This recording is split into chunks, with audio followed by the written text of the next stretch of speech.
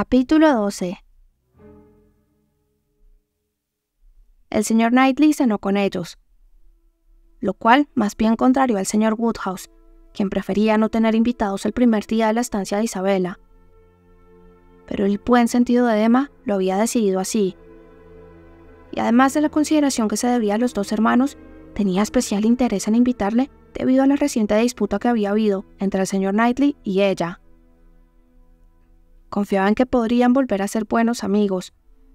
Le parecía que ya era hora de hacer las paces. Pero la verdad es que no iban a hacer las paces. Desde luego ella tenía razón, y él jamás reconocería que no la había tenido. O sea que era indudable que ninguno de los dos cedería. Pero era la ocasión de aparentar que habían olvidado su disputa, y cuando él entró en la estancia, Emma, que estaba con uno de los pequeños, pensó que aquella era una buena oportunidad que podía contribuir a reanudar su amistad. La niña era la menor de los hermanos y tenía unos ocho meses. Era su primera visita a Harfield y parecía muy satisfecha de sentirse mecida por los brazos de su tía. Y efectivamente, la oportunidad fue favorable.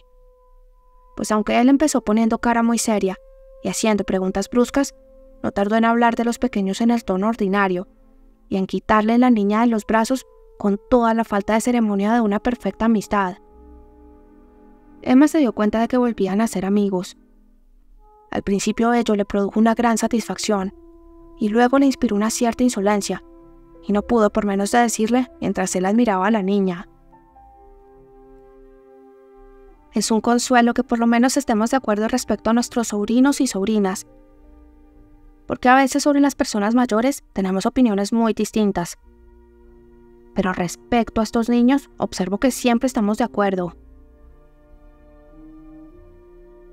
Si al juzgar a las personas mayores, en vez de dejarse arrastrar por su imaginación y sus caprichos, se dejara guiar por los sentimientos naturales, como hace usted cuando se trata de estos niños, siempre podríamos estar de acuerdo.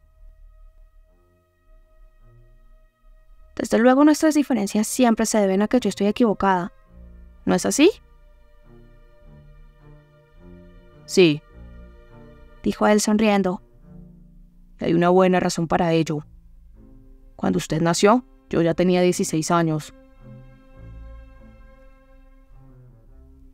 Cierto. Es una diferencia de edad, replicó Emma. Y no dudo de que en aquella época tenía usted mucho más criterio que yo. Pero, ¿no cree que los 21 años que han transcurrido desde entonces pueden haberlo contribuido a igualar bastante nuestras inteligencias? Sí, bastante. A pesar de todo, no es lo suficiente como para concederme la posibilidad de que sea yo la que tenga razón si disentimos en algo. Aún le llevo la ventaja de tener 16 años más de experiencia y de no ser una linda muchacha y una niña mimada. Vamos, mi querida Emma, seamos amigos y no hablemos más del asunto. Y tú, Emita, dile a tu tía que no te dé el mal ejemplo de remover antiguos agravios, y que si antes tenía razón, ahora no la tiene. Es verdad, exclamó. Es la pura verdad. Emita, tienes que llegar a ser una mujer mejor que tu tía. Sé muchísimo más lista y no seas ni la mitad de vanidosa que ella. Ahora, señor Knightley, permítame dos palabras más y termino. Creo que los dos teníamos las mejores intenciones, y debo decirle que aún no se ha demostrado que ninguno de mis argumentos sea falso. Solo quiero saber si el señor Martin no ha sufrido una decepción demasiado grande. No podía sufrir la mayor. Fue la breve y rotunda respuesta. Ah, de veras lo siento mucho. Vaya, démonos las manos. Apenas habían acabado de estrecharse las manos, y con gran cordialidad, cuando hizo su aparición John Knightley y los ¿Qué tal George? Hola John, ¿qué tal?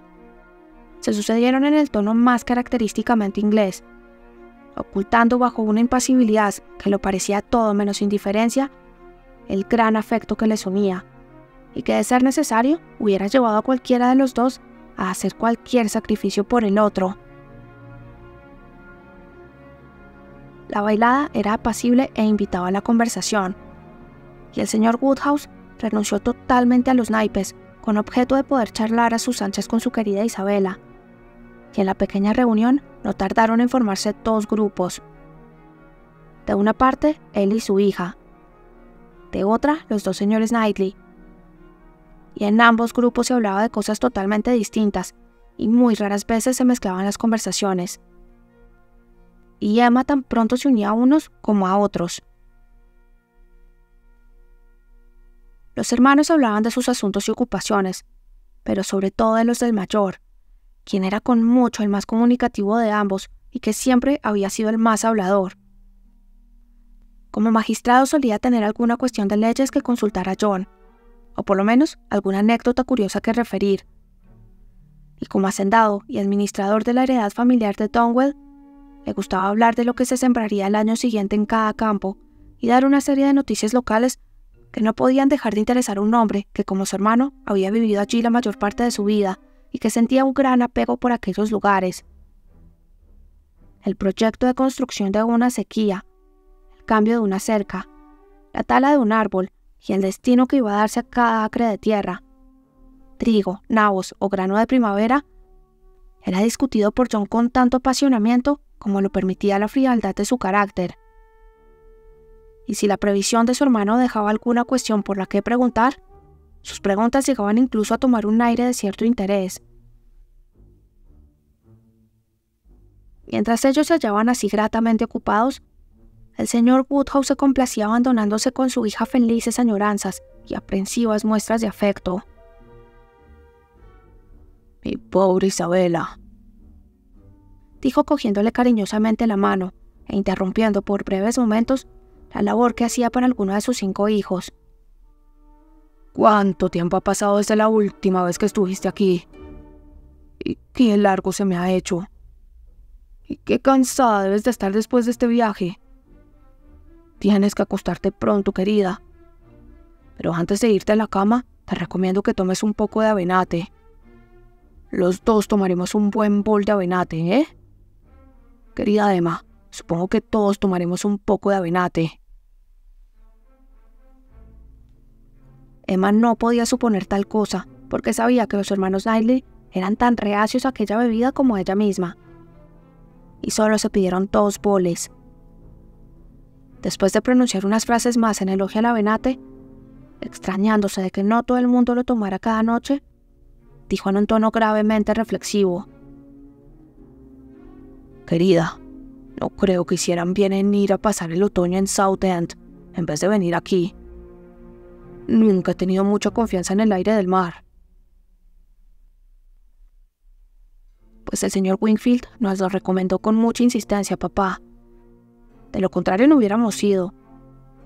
Nos lo recomendó para todos los niños, pero sobre todo para Vela, que siempre tiene la garganta tan delicada. Aire de mar y baños.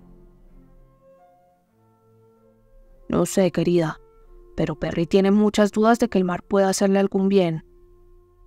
Y en cuanto a mí, hace tiempo que estoy totalmente convencido, aunque tal vez nunca te lo había dicho antes de ahora, de que el mar casi nunca beneficia a nadie. Estoy seguro de que en una ocasión a mí casi me mató. Vamos, vamos, exclamó Emma, dándose cuenta de que aquel era un tema peligroso. Por favor, no hables del mar. Siento tanta envidia que me pongo de mal humor. Yo que nunca lo he visto. De modo que queda prohibido hablar de Southend. ¿De acuerdo, papá? Querida Isabela, veo que aún no has preguntado por el señor Perry. Y él nunca se olvida de ti. Oh, sí. El bueno del señor Perry. ¿Cómo está, papá? Pues bastante bien, pero no bien del todo. El pobre Perry sufre de la bilis y no tiene tiempo para cuidarse. Me dice que no tiene tiempo para cuidarse, lo cual es muy triste. Pero siempre le están llamando de toda la comarca. Supongo que no hay nadie más de su profesión por estos alrededores. Pero además es que no hay nadie tan inteligente como él. ¿Y la señora Perry y sus niños, cómo están? Los niños deben de estar ya muy crecidos. Siento un gran afecto por el señor Perry. Espero que pronto venga a visitarnos. Le gustará ver a mis pequeños. Creo que vendrá mañana porque tengo que hacerle dos o tres consultas de cierta importancia. Y cuando venga, querida, será mejor que diera un vistazo a la garganta de Vela. Oh, papá. Está tan mejorada la garganta que casi ya no me preocupa. No sé si han sido los baños o si la mejoría tiene que atribuirse a un excelente cataplasma que nos recomendó el señor Wingfield y que hemos estado poniéndole una serie de veces desde el mes de agosto. Querida, no es muy probable que hayan sido los baños los que le hayan sentado bien. Y si yo hubiese sabido que lo que necesitaba era una cataplasma, hubiera hablado con... Me parece que se han olvidado de la señora y la señorita Bates dijo Emma. No les he oído preguntar por ellas ni una sola vez. Oh, sí, las Bates. Pobres. Estoy realmente avergonzada de mí misma. Pero las mencionabas en la mayoría de tus cartas. Supongo que están bien, ¿no? Pobre señora Bates, con lo buena que es. Mañana iré a visitarla y me llevaré a los niños. ¿Están siempre tan contentas de ver a mis niños? ¿Y la señorita Bates también es tan buena persona? Lo que se dice gente buena de veras. ¿Cómo están, papá? Pues en conjunto bastante bien, querida. Pero la pobre señora Bates, hace poco, más o menos un mes, tuvo un resfriado muy maligno. Cuánto lo siento. Yo nunca había visto tantos resfriados como este otoño. El señor Wingfield me decía que él nunca había visto tantos ni tan fuertes, excepto cuando hay una epidemia de gripe. Sí, querida, desde luego ha habido muchos, pero no tantos como piensas. Perry dice que este año ha habido muchos resfriados, pero no tan fuertes como los que él ha visto muchas veces en el mes de noviembre. Perry no considera que en conjunto esta haya sido una temporada de las peores. No, no creo que el señor Wingfield considere esta temporada de las peores, pero... Ay, pobre hija mía. La verdad es que en Londres todas las temporadas son malas. Nadie está sano en Londres, ni nadie puede estarlo. Es horrible que te veas obligada a vivir allí, tan lejos y en una atmósfera tan malsana. No, la verdad es que donde vivimos no hay una atmósfera malsana en absoluto.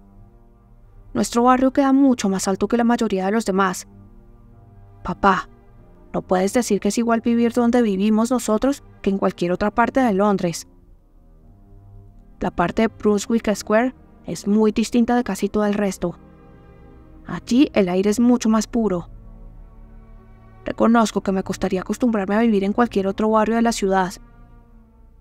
No me gustaría que mis hijos vivieran en ningún otro. Pero aquí es un lugar tan oreado.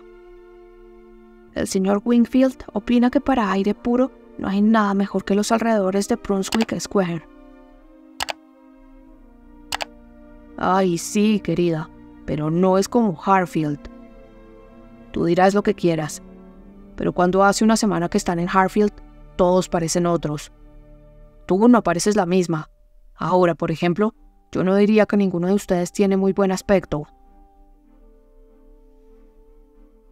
¿Cómo siento oírte decir eso, papá? Pero te aseguro que exceptuando algunas jaquecas nerviosas y las palpitaciones que tengo en todas partes, me encuentro perfectamente bien. Y si los niños están un poco pálidos antes de acostarse, era solo porque estaban más cansados que de costumbre, debido al viaje y a las emociones de llegar a Harfield.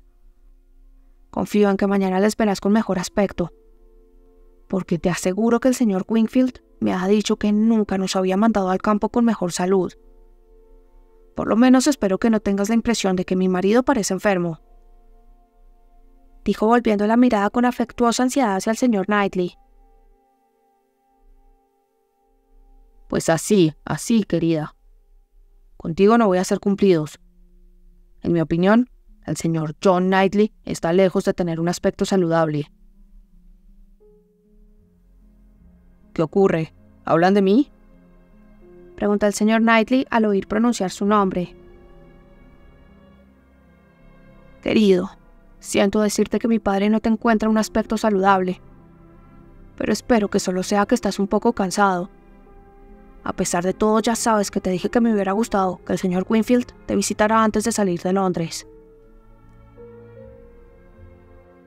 Querida Isabela, exclamó él con impaciencia. Te ruego que no te preocupes por mi aspecto. Confórmate con mimar y medicinar a los niños y a ti misma, y déjame tener el aspecto que quiera. No he entendido bien lo que estabas contando a tu hermano, exclamó Emma, sobre tu amigo el señor Graham, que quería tomar un mayordomo escocés para que cuidara de sus nuevas propiedades. ¿Crees que dará resultado? ¿No son demasiado fuertes los viejos prejuicios?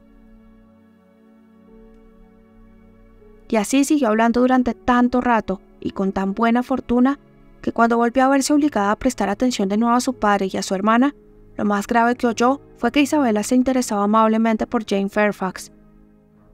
Y aunque Jane Fairfax no era precisamente una de sus favoritas, en aquellos momentos sintió un gran alivio al escuchar elogios suyos. Oh, Jane Fairfax. Es tan cariñosa y tan amable. Dijo la señora John Knightley. ¿Hace tanto tiempo que no la he visto? Excepto unas cuantas veces que nos hemos encontrado por casualidad en Londres y hemos hablado solo unos momentos. Qué contentas deben de estar su anciana abuela y su tía, que son tan buenas personas cuando viene a visitarlas. Siempre que pienso en ella, lo siento tanto por Emma, que no pueda pasar más tiempo en Highbury. Pero ahora que su hija se ha casado, supongo que el coronel y la señora Campbell no consentirán en separarse de ella. ¿Hubiera sido una compañera tan agradable para Emma? El señor Woodhouse estuvo de acuerdo con todo esto, pero añadió, Sin embargo, nuestra joven amiga, Harriet Smith, también es otra muchacha excelente. ¿Te gustará Harriet? Emma no podía tener mejor compañera que Harriet.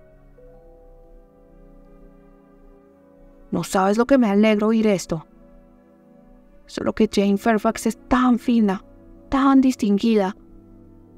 Y además tiene exactamente la misma edad que Emma. La cuestión fue discutida con toda cordialidad, y al cabo de un rato se pasó a otro tema de similar importancia que también se debatió en medio de la mayor armonía. Pero la velada no concluyó sin que un nuevo incidente volviera a turbar un poco aquella calma. Llegó el avenate proporcionando nueva materia de conversación. Grandes elogios y muchos comentarios. La irrefutable afirmación de que era saludable para toda clase de personas. Y lo que se dice severas filípicas contra las numerosas casas en las que no se podía tomar un avenate medianamente tolerable pero por desgracia, entre los lamentables casos que su hija citó como ejemplos para corroborar lo que decía el señor Woodhouse, el más reciente, y por lo tanto el más importante, había ocurrido en su propio hogar, en Southend, en donde una muchacha que habían contratado para la temporada nunca había sido capaz de comprender lo que ella quería decir cuando hablaba de un bol de buena venate que no fuera espeso, sino más bien claro, aunque tampoco demasiado claro, ni una sola vez de las que había querido tomar a Benate, y se lo había pedido, había sido capaz de hacerle algo que pudiera beberse. Este era un principio peligroso. ¡Ay! dijo el señor Woodhouse meneando la cabeza y contemplando a su hija con una mirada de afectuosa preocupación. La exclamación para Emma quería decir, ¡ay! No tienen fin las tristes consecuencias de su estancia en Southend. Pero de eso no se puede hablar. Y durante unos minutos, Emma confía en que no iba a hablar de ello, y que sus silenciosas cavilaciones bastarían para devolverle al placer de saborear su avenate claro, como debía ser. Pero al cabo de unos minutos añadió, Siempre lamentaré que este otoño hayan ido al mar en vez de venir aquí. Pero, ¿por qué tienes que lamentarlo, papá? Te aseguro que a los niños les fue muy beneficioso. Además, si tenían que ir al mar, hubiera sido mejor no ir a Southend. Southend es un lugar poco saludable. Perry quedó muy sorprendido al saber que habían elegido Southend. Ya sé que hay mucha gente que opina así, pero la verdad, papá, es que se equivocan del todo. Allí nos hemos encontrado perfectamente bien de salud. Y el limón no nos molestó lo más mínimo. Y el señor Winfield dice que es un error suponer que es un lugar malsano. Y estoy segura de que puede confiarse en su criterio, porque él sabe perfectamente de qué se compone el aire, y su propio hermano ha estado allí con su familia varias veces. Sí, querida, pero si querías tomar los baños, podrían haber ido a Cromer. Perry hace tiempo que pasó una semana en Cromer y considera el lugar como el mejor de todos para los baños de mar.